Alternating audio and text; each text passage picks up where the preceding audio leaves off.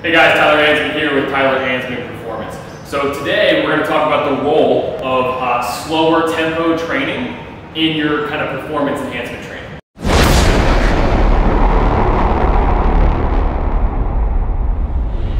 All right, so with a sport like baseball, it's dominated by high velocity movements, right? Which means we probably need to train fast in order to play fast. I think that's a pretty obvious statement.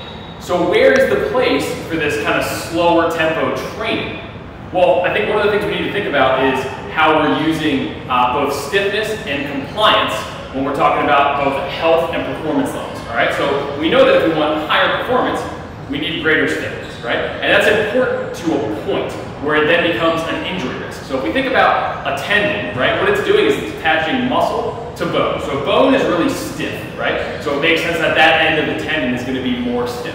Whereas muscle is more compliant, that end of the tendon is going to be more compliant. This makes sense, right? So the greater stiffness we have, basically the greater energy transfer, energy amplification we're going to get from that tendon. But the risk factor is we tend to get more uh, muscle strains and pulls because then when the tendon's not stretching enough, the muscle is forced to stretch more, right? And so that's when we get these injuries, hamstring pulls, things like that. So the other, the other piece to this is compliance. So that's basically when the tendon stretches more, right? So one of the examples that Dr. Keith Baar uses is talking about when we're putting uh, like a rubber band around a really heavy rock. If we were trying to pull that along the ground, we would just get stretchiness from the tendon and that rock really wouldn't move, right? Whereas if we put a rope around it, it's going to stretch a little bit, but then we're going to get that rock moving along there. So we need both stiffness and compliance to some degree because compliance is going to allow us to stay healthy. But if we take that too far, we're going to see a decrease in performance. Whereas if we take stiffness too far, we're going to see an increase in injury.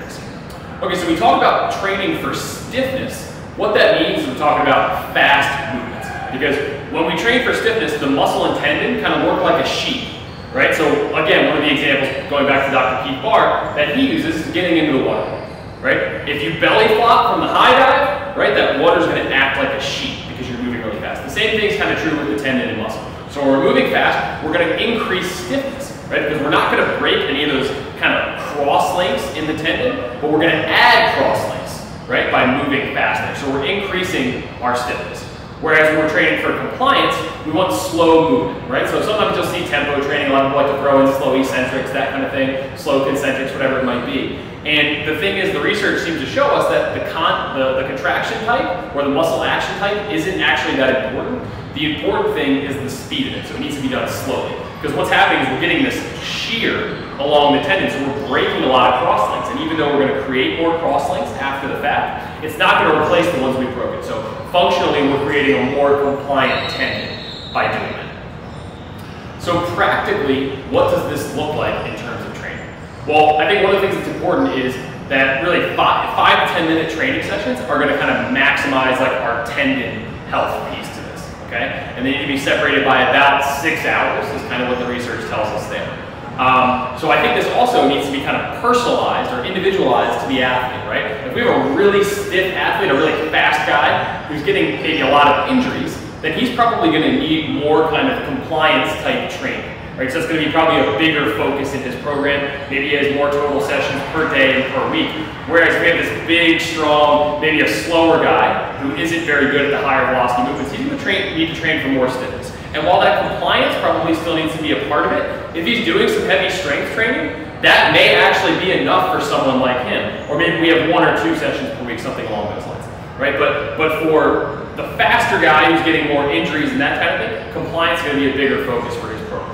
So what does this actually look like? Well, probably about six hours after your kind of high performance session for that day, that's probably a good time to throw in these kind of like health-based sessions where we're doing uh, tempo work or long duration iso holds, things like that. So, so the way that you'll probably, a, a good way to do it may be to kind of throw in one to three long duration iso hold type movements, all right, and accumulate about two minutes per movement there. So if we're doing a split squat iso hold, if you're an absolute beginner, you may want to start with like 25 to 35 seconds kind of per side and try to go through maybe three to four sets. Try to accumulate about two minutes per side. And that may be enough for that single session if we're talking about kind of looking at, you know, knee health.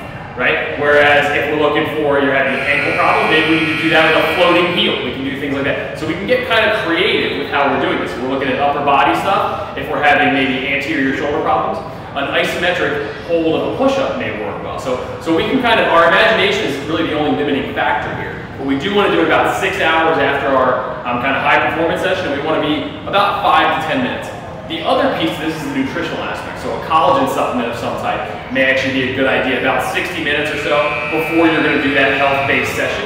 That'll tend to work pretty well. If you're interested in kind of learning more about this topic, I wrote a full article on collagen supplementation, the science behind it, um, and how to kind of use that. So uh, check out the link below if you kind of need uh, more information on that.